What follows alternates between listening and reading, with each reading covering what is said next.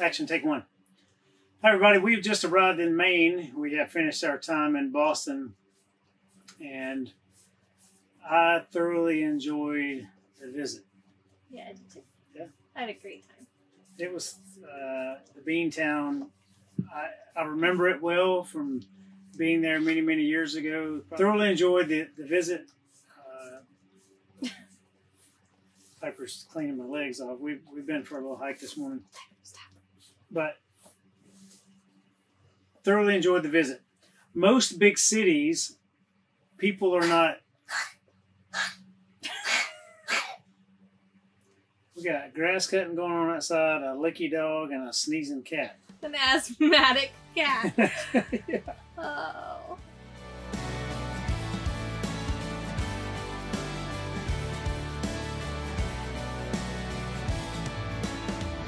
She hails from Boston, and she hates the sound that goodbyes make. She loves Sundays and champagne.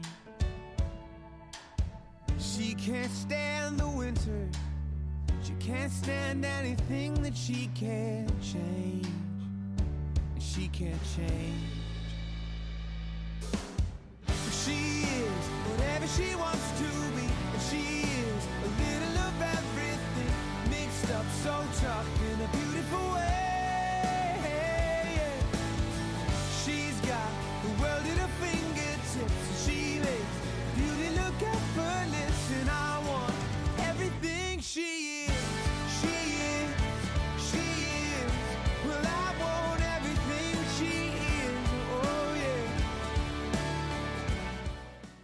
you doing? Are you in your blanket? Huh? Is your tail wagging? Are you so happy?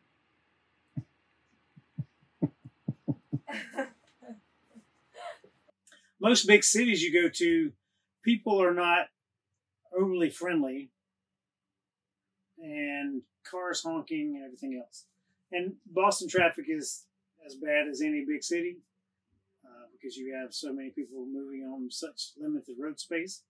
But I didn't think it was terrible at all. no, Yeah, it was very well managed. it's busy and it's full and it moves slow at times, but there's never, never idiot traffic. I call it. people are aggressive, and but people are courteous enough to let Mhm. others over, and it. It's the best big city traffic I think I've been in yeah. in a long time. Oh yeah, definitely. So thank you everyone who lives in the area who helped accommodate us driving this giant behemoth down the highway. Yeah. And through the city. Yeah. so we got there on day one. We we stayed at I can't say it Wompatuck State Park. Yeah. Maybe uh, it's a little southeast of Boston proper. Blair and I have made it to Massachusetts. Uh, we're not far outside of Boston. It's a great little park here. We are about to head downtown and see what we can get ourselves into. Uh, 20 minute drive with no traffic, maybe yeah, probably. to down. I mean to downtown. So Center of downtown. Yeah. yeah, and nice stay, cheap park, state park, quiet, Lots of green space. plenty of green space. Spaces are very distant from each other. I mean, you you almost feel isolated in your Yes. little spot, Yeah, which is nice. Each little spot has trees all the way around. Yeah. Difference in where we are right now, I can almost touch somebody out this window and touch somebody out that window. Yeah. Which is okay. Um, It's a nice view out this window, except when the sun's beaming in behind us, you can't see anything. Yeah. We got there the first day. We drove into town. We walked around the waterfront on the uh, upper end. What was it? What was it called? The north end. North end. So the north end and Little Italy. Walked around the waterfront there, looked at some sailboats, just kind of mapped out what we were going to do when we went back the next day. hmm Uh, day two was planned to be a hop on, hop off trolley tour. I thoroughly recommend any hop on, hop off trolley tour if you're unfamiliar with the city or you just want to see the highlights. And that goes for any city you've been, ever go to. Yeah. Most major cities today have that hop on, hop off tour. And I think they're fantastic. hmm They allow you to get through the city in a way that would be difficult for one person driving, paying attention to the road, the other person looking around. Do you have all these. Yes, it is a tourist trap in a sense, but you get a lot of information about the city that you wouldn't necessarily get elsewhere. Yes. And then you can kind of navigate through the city and figure out what stops you want to get off at, how long you want to spend there, when you want to get back on. They typically rotate buses every 20 to 30 minutes. Um, so it's a really cool experience. We've also done it in San Diego, I believe. San Diego, we've Yeah. done it together in San Diego. I've Yeah. done it in Many big cities. a couple other cities I've gone to, tourist cities. Yeah. If you're going to do it, here's a pro travel tip. Get there and be on the very first bus and stay on that bus for the entire route. And then go back and get off at the stops you want to get off at. But ride the entire route for the first route as long as you have a good talkative driver, which Mhm. most of those people do it Yeah. you know, professionally anyway and have a really good time. Um, so we did. We we rode around the city. We got off at a few spots. We we didn't start at stop number one. We started at stop number Two or three. you know, somewhere down the line, but we had walked. And we saw the Paul Revere Church. We saw the Paul Revere statue. We saw- Say what? The British are coming. The British are coming. We saw the Paul Revere house. If they ask you any trivia questions on your hop on, hop off bus tour, nine out of ten times the answer will be Paul Revere. Yes, he, the guy did everything in the town. Yeah. Welcome to the USS Constitution, the oldest Navy ship in the United States Navy. It is actually ran and manned by active duty sailors. Mhm. So they get uh, orders here, they have to put in for orders here, and they come work here and, and man the rails and do all the things and take care of this still active duty Navy ship.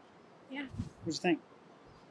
I didn't realize that active duty Coast Guard or No, Navy. Navy. I I did not realize that active active duty Navy um, personnel were manning the ship. Sailors? I th- yeah, sailors. I did.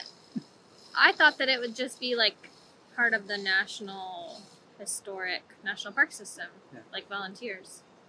That's a cool assignment, though. Mm-hmm. Pretty cool. Yeah. We looked into some of the sleeping quarters. There's um, like cot hammocks that go like 15 to 20 across. Mhm. And then towards the front. You get to sleep. You get to sleep doing this. Yeah. yeah. and then the officers have small individual quarters, Yeah. which are pretty interesting as well. Yeah. Awesome. That's cool. Let's go get a stamp our book. On to the next stop. And we left there and went over to back across the bridge by the Madison Square Garden. And then we went around to town. Yeah. Some of the neat things about the city, there's uh, there's just one row of streets where all the signs outside have not only the written name but also a picture depicting of what it was. Like yeah. a great a wine stop had a great thing hanging out Yeah. front. Chiropractor had a little spine on yeah, it. that was cool. Uh, leather maker had boots. A front. salon had scissors. Yeah. Yeah, it was It was- really cool. pretty cool. Then we stopped at a pretty cool, famous bar, Bull and Finch Bar. You might know it better as Cheers, Yes. uh, from the hit TV series for many fun. years in the 80s and the early 90s. Mhm. It was one of my grandfather's favorite shows, and I have a lot of fond memories of watching the show and always seeing the, the Cheers sign. Um,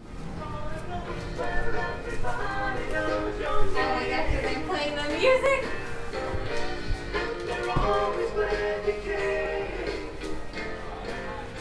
I believe they recreated the bar from the from the set and in a pub upstairs, but the actual Yeah. Bull and Finch bar that you go down into, I can see where they got the theme from for the Mhm. show, but it's not the same. It's not near as big. Yeah. But we went in there. We got a little refrigerator magnet from from Cheers. We did. I forgot about that. Um, We unfortunately did not get to take the bus to MIT yes, and Harvard and Cambridge. Um, there's they're doing construction on the bridge, so Blair learned the Harvard chant though. No, it wasn't the Harvard. It was the MIT. The MIT chant. I did not learn it. You It got to. is.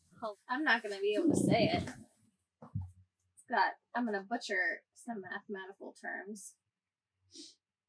I do know pi though.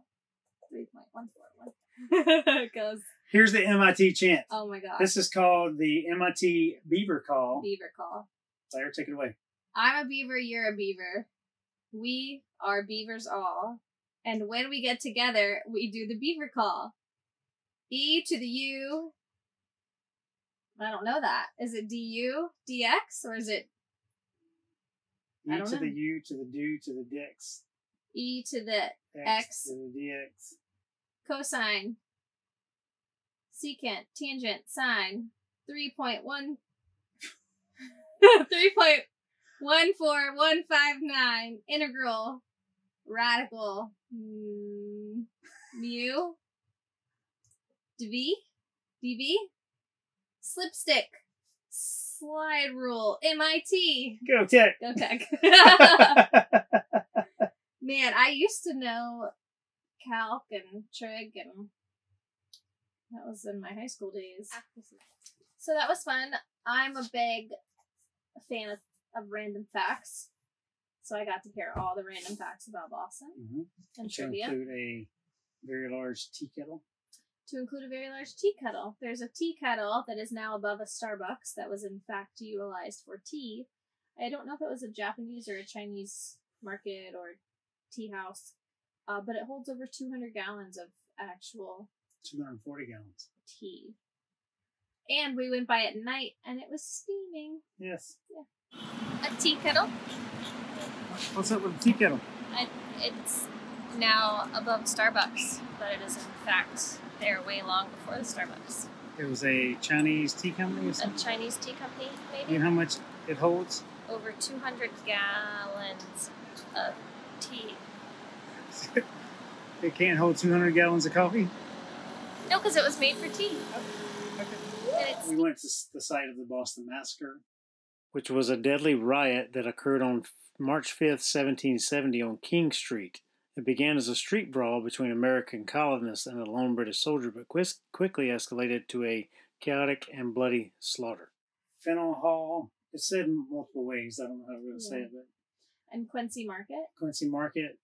Um, anywhere in the city is pretty great, and there was a great amount of green space in the city too. Yes, there was. That was one thing that we kept like mentioning to each other. Like as big of a city as Boston is, and the public transportation and the traffic and the tunnels. There's a tunnel that takes a lot of the highway traffic underneath the city as opposed to over or through the city. There is so much green space in Boston itself, which is awesome to see. Yeah. Yeah, lots of parks. Then we went to the Red Sox game. Yes. It was Game Three of the Tampa Bay Rays Mhm. s- uh, series. Mhm. We get in the stadium. I got in trouble. Oh, I tried to go take a video. we walked into gate B and we were sitting on the complete opposite side of the stadium, but I had never been in the stadium before. So I wanted a, a video. So I walked right up the ramp to get a video and they were like, You can't be here. They're just doing their job. Here I am, this oblivious tur- tourist. And I was like, Oh, sorry. Right. So We went around, got in our our seats. seats. We were behind the uh, dugout mhm. On the first base line. home team dugout That's right. between home base and first base. Maybe ten rows off the Yeah. off the field. Great Yeah. seats, really good view. Yeah. It's it's the oldest stadium in baseball, hmm and it has such odd angles. Uh, Yeah, depending on how to hit a home run, it's really long going Yeah. down first base line, not so long going down third base line. hmm Um, but the game ended with very very exciting game ender game. Yep. Um, Hunter Renfroe, Yes. who is not the same Hunter Renfrow of my pride and joy Clemson University Tigers from our championship game. Although this Hunter Renfroe um, hit um, a home run, so he brought in two runs. Down a run. High fly ball left field. That's way,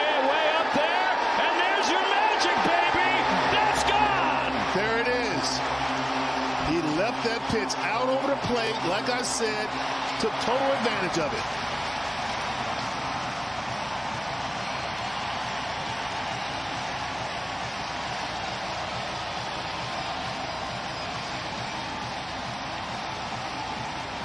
Hunter Renfroe, number 27.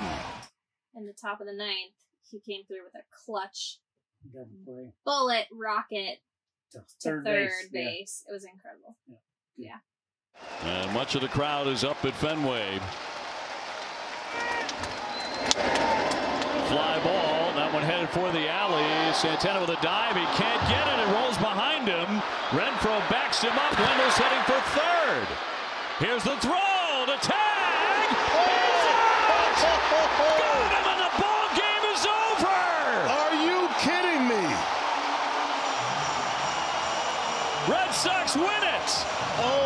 Goodness. Wendle out at third base. Trying to sprint to third. He is cut down. And the Sox win a thriller at Fenway Park. Good ending to a game. Yeah. Uh, then we rode the metro back to where we parked and made our way back to the to the house for the night. Hey, Brad. I found a rock, Oh gosh. What kind of rock? A very large rock Yeah. called Plymouth, with a date stamped on it.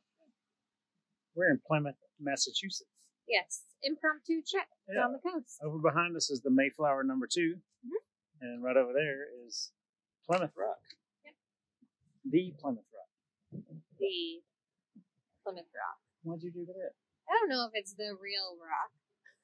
It just says it's a, it was a big rock that was deposited here that's been worn by many years of tides. Do you think that it was always stamped with 1620? Oh, they hand carved it in there. I know they think. yeah, that's pretty cool. I mean, it's a big rock. Yeah. It's a tourist trap, and we got trapped. Yep. and just drove out to the Cape. Mhm. Uh, looked at a lighthouse, one of the most famous lighthouses out there.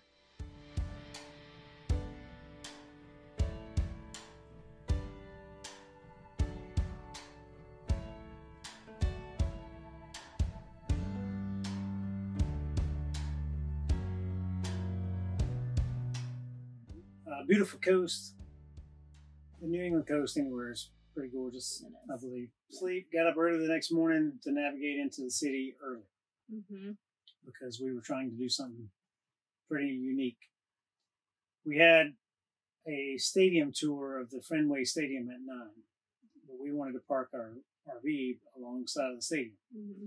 So we got there very early in the morning. We were able to find a generous uh, group of folks to help us out to park. We parked behind some of the gates. We went and did our tour. Yep. Uh, excellent tour, excellent tour guide. Went all around the stadium. Got to go in the press box. Got to sit in the oldest chairs in baseball. Yeah. Um, Old wooden bleachers. yeah, we took pictures from every view. The great Mhm. uh, big green monster wall Mm-hmm. setting the chairs up there, walked around the back of the stadium. Then we saw the red, single lone red chair where the Yeah. longest home run in baseball ever was hit and it hit the guy in the head. It did. Uh, saw Babe Ruth's bat and glove. Mm-hmm. Such such history and such really cool opportunity to go through the stadium. Then as we were leaving, we went and pulled the rig up to take a picture of the rig with Boston Red Sox sign in the back. Mm-hmm. Fenway Park. at the time of our tour, they were building a stage for a concert, and we were chatting with those guys, and he was like, "Is that to come stand in center field?" Uh, so we went and stood in center field and took a picture. yeah. But we chatted with them. They come and checked out the airstream. Yep. We went and checked out the stage and got to go stand on center field. So it was pretty great. Uh, pretty cool opportunity for that. Yeah. So thank you if you guys happen to be watching. We really Yeah. appreciate the the hospitality that continued to prove Boston to us. Yeah. Then we drove out of town and we ate at Mark, or not Wahlberg, Mark Wahlberg, Yeah. one of the Wahlberg, Wa- Wallaburger. Wahlburger. So the Wahlberg brothers, the, the one that's the chef, created this burger joint, Mhm. and we stopped and had lunch with Freddie, another friend of mine whom I haven't seen in a very long time. Yeah. Um, uh, really great to see him and catch up. He's a police officer there in town, so thank you for your service to, our nation and your county and your town, your municipal. municipal. Um, had a really good catch up session with him, and uh, I'm awesome burger. Yeah, it was very good. Yeah. I think we each got a different burger, so Yeah, it was yeah. nice to see. So after our Wallaburger, we got in the truck and we drove north into Maine. Mhm. Stay tuned next week for all things Maine. Uh, Harvest Host, Acadia National Park, and a great hike, Mhm. and Bar Harbor. Bar Harbor. Yeah. Yeah. So see you guys next week. Love you all. Happy adventures. She's got Look at that.